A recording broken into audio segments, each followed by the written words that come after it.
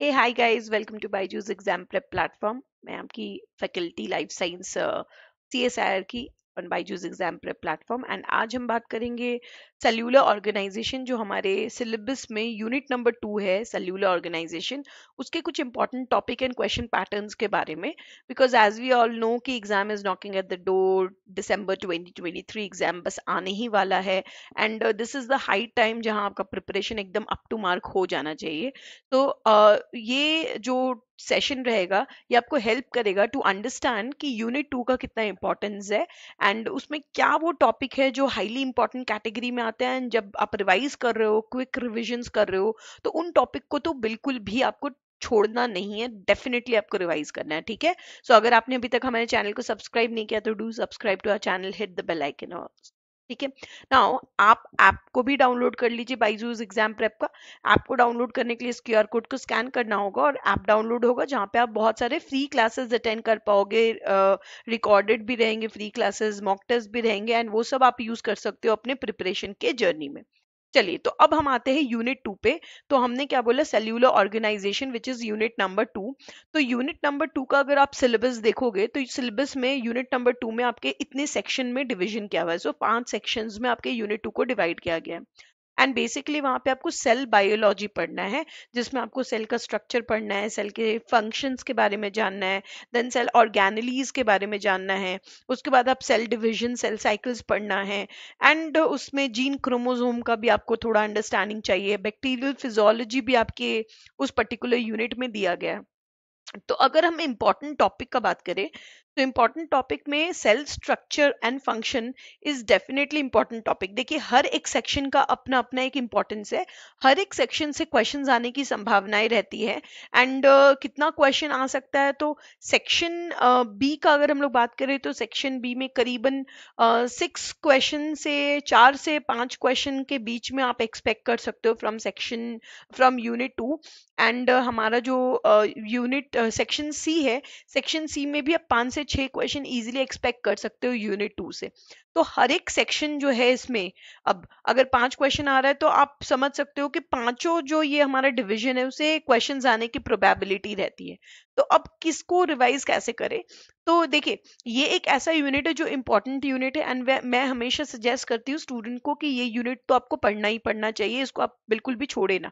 ना membrane structure and function का हम बात कर रहे हैं। So membrane structure and function structure structure of model membrane then lipid bilayer membrane potential diffusion osmosis ion channel तो इसमें सब इंपॉर्टेंट क्या है? तो अब देखिए मेम्ब्रेन स्ट्रक्चर में प्रोटीन रिलेटेड क्वेश्चन बहुत बार पूछा जाता है कि पेरिफेरल प्रोटीन इंटीग्रल प्रोटीन के एग्ज़ाम्पल से रिलेटेड कि कहाँ पे कौन से मेम्ब्रेन में प्रेजेंट है, कितना ट्रांस मेम्ब्रेन सेगमेंट प्रेजेंट है। तो ऐसे क्वेश्चंस पूछे गए हैं सीएसआर में एंड ये रिपीटेड टाइप ऑफ़ क्वेश्चंस है जो हम देखते हैं।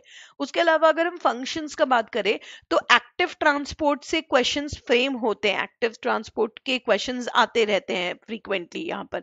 तो मेम्ब्रेन एंड स्ट्रक्चर फ़ंक्शन में ये जो दो चीज़ें हैं, ये इंपॉर्टेंट है। Electrical potential of membrane important है, पर ये देखिए आपका, आप यहाँ पे भी ले सकते हो। यूनिट सेवन एनिमल फिजोलॉजी में भी ये आपको पढ़ना है इलेक्ट्रिकल पोटेंशियल ऑफ़ मेम्ब्रेन तो आप किधर भी इसको कंसिडर कर सकते हो। ठीक है तो ये इंपॉर्टेंट एरिया है जहाँ से क्वेश्चन फ्रेम होते हैं। ना coming to structural organization and functional aspect का जब हम बात कर रहे हैं तो उसमें साइटोस्केलेटन एंड उसका मोर्टेलिटी एक इंपॉर्टेंट इंपॉर्टेंट पॉइंट है या इंपॉर्टेंट सेगमेंट है जहाँ से क्वेश्चन आते हैं। अब इसमें आपका uh, uh, जो मोटर uh, प्रोटीन हो गया मोटर प्रोटीन से भी क्वेश्चन आते हैं साइटोस्केलेटन के से भी क्वेश्चन आते हैं तो ये इंपॉर्टेंट है। उसके अलावा बाकी जितने organelle cell wall is not that important nucleus हो गया माइटोकॉन्ड्रिया हो गया गोल्जी हो गया लाइजोसोम हो गया एंडोप्लाज्मिक रेटिकुलम हो गया, जितने भी स्ट्रक्चर है उसमें न्यूक्लियस माइटोकॉन्ड्रिया जो है एंड लाइजोजोम ये तीन ऑर्गेनली इंपॉर्टेंट ऑर्गेनलीज में आते हैं, जहाँ से क्वेश्चन आते रहते हैं एंड पेरोक्सिजोम ईआर का भी आप कंसिडर कर सकते हैं और आपको क्या पता होना चाहिए जो ट्रांस प्रोटीन सॉर्टिंग सिग्नल्स है ना आपको जितने भी है प्रोटीन सॉर्टिंग सिग्नल आपका एकदम टंग टिप पे होना चाहिए, बिल्कुल अच्छे से आपको रटा हुआ होना चाहिए।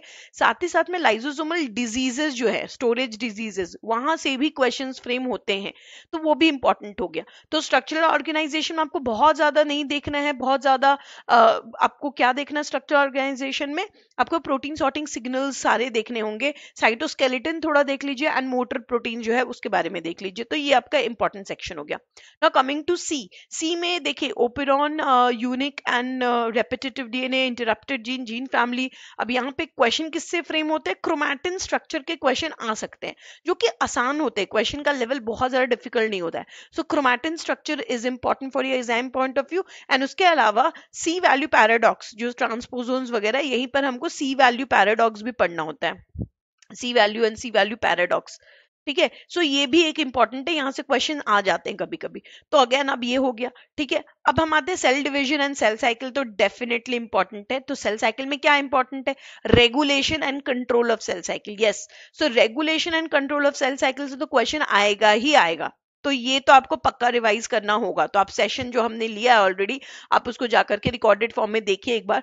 Regulation of and control of cell cycle is highly important question will definitely come from this ठीक है?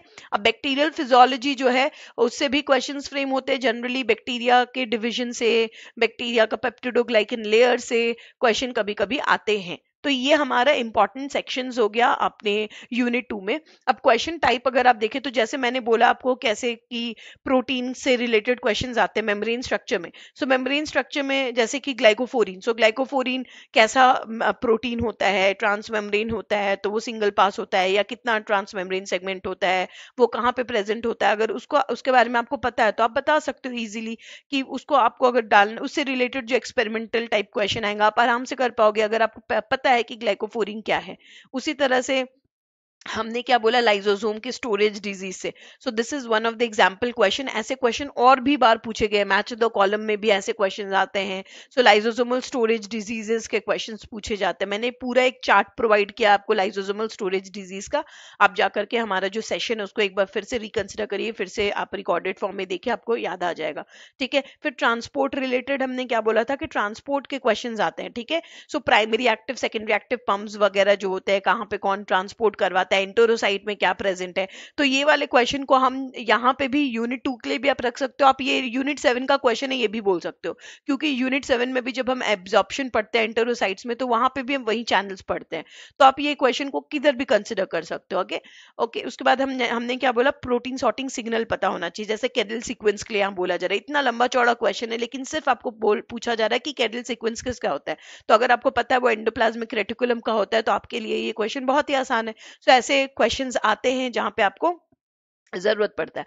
अब जैसे हमने सेल साइकिल का बात किया सेल साइकिल में हमारा एक और टॉपिक है रेडियो एक्टिव थाइमिडिन इनकॉर्पोरेशन ऐसे टेक्निक इस टेक्निक से भी क्वेश्चन आते हैं मैंने ये रेडियो एक्टिव थाइमिडिन इनकॉर्पोरेशन ऐसे टेक्निक आपको फ्री सेशंस में भी पढ़ाया है और पेड कोर्सेज में तो पढ़ाई ही है। तो ऐसे ये इस टाइप के क्वेश्चन रिपीटेडली सीएसआईआर पूछा गया है तीन से चार बार। इसी पैटर्न के क्वेश्चन थोड़ा मोड़ा वेरिएशन करके। तो वो एक्सपेरिमेंट का डायरेक्ट सॉर्ट यहाँ पे क्वेश्चन है। तो वो एक्सपेरिमेंट ज़रूर से आप देख लीजिएगा। अगेन इट इज़ इंपॉर्टेंट अब सेल साइकिल से तो क्वेश्चन आते हैं ग्राफिकल क्वेश्चन भी आते हैं सेल साइकिल से आपको पॉइंटर्स टाइप ऑफ़ क्वेश्चन भी आते हैं तो सेल साइकिल तो हाईली इंपॉर्टेंट है। सेल साइकिल का बेसिक आपको फंडा क्लियर होना चाहिए एंड रेगुलेशन क्लियर होना चाहिए, ठीक है? फिर मैंने मोटर प्रोटीन के बारे में बोला तो यस मोटी मोटर प्रोटीन से क्वेश्चन पूछे जाते हैं साइटोस्केलेटन में तो वो तो आपको डेफिनेटली कर लेना है। हमने जितना पढ़ा है क्लासेस में दैट इज़ सफिशियंट अगर आप उतना भी रिवाइज कर लेते हो then it is good to go ठीक है? So these are some of the pattern of question and the important topic for cellular organization which is module number second for your C S life science syllabus अच्छे से तैयारी करते रहिए all the very best student अगर अभी तक आपने app download नहीं किया तो ऐप डाउनलोड कर लीजिए, वहाँ पे और भी कई सारे आपको free classes and mock test मिल जाएँगे, जो आप यूज़ कर सकते हो प्रिपरेशन के लिए. एंड अपकमिंग वर्कशॉप जो हमारा है, वो फिफ्थ ऑफ़ दिसंबर को होगा विच इज़ ट्यूजडे रात आठ बजे. आप श्योरली इसके लिए रजिस्टर कर लिया और क्लासेस अटेंड कर लीजिए, ताकि आपको आगे आने वाले जो एग्ज़ाम्स है, उसमें आपको स्ट्रैटेजी में मदद मिले. And as you all know second of December जो है हमारा सेकेंड ऑफ़ दिसंबर वर्कशॉप हमारा स्कॉलरशिप टेस्ट है, जो आज भी कंटिन्यू हो रहा है। तो आप ये स्कॉलरशिप टेस्ट को दे करके आप पेड क्लासेस के लिए डिस्काउंट पाने, पा सकते हैं, अगर आपका परफॉर्मेंस अच्छा है अप टू 90 परसेंट तक, ठीक है? तो आप डेफिनेटली ये स्कॉलरशिप टेस्ट को भी दीजिए। और अगर आप पेड कोर्सेज में आते हैं तो आपको लाइव क्लासेस मिलते हैं रिकॉर्डेड भी मिल जाएगा उन क्लासेस का, जो हम क्लास में पढ़ाते हैं, वो नोट्स मिल जाएँगे। रेगुलर बेसिस पे क्विजेज होंगे P Y Qs doubt resolution test series ये सब कुछ होने वाला है, ठीक है? तो आप हमारे क्लास हमारे साथ हमारे क्लासेस में जुड़िए। एंड आपको, जो भी कोर्सेज हैं, जो भी क्लासेस है, हम जो भी पढ़ा रहे हैं, उसके साथ आप अपने आप को कनेक्ट करते रहिए। अगर आप अभी सब्सक्रिप्शन ले रहे हो और अब दिसंबर 2023 जेआरएफ क्वालिफाई करते हैं तो आपके लिए ये ऑफ़र है मनी बैक गारंटी ऑफ़र आप इसको ऑप्ट कर सकते हैं। जो भी टर्म्स एंड कंडीशन है just go through all the terms and condition and अगर आप जेआरएफ क्वालिफाई करते हो तो आपको जो भी सब्सक्रिप्शन फ़ीस है, वो वापस कर दिया जाएगा। To know more about our courses our subscription fee you can just call to the given number nine six five double zero five two nine zero four and आपकी जो भी क्वेरीज आप यहाँ पे अपना कंसर्न रख सकते हो वन टू वन काउंसिलिंग होगा, आप पूछ सकते हो एंड आपके जो भी डाउट है, आप उसको सॉर्ट आउट कर सकते हो। All the very best student. Thank you so much. Bye bye. Take care.